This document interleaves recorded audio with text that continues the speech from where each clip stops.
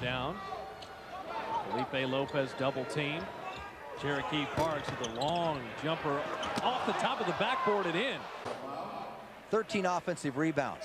Talk about it in a minute. Cherokee Parks, bothered by Donyell Marshall, puts it up a little higher and gets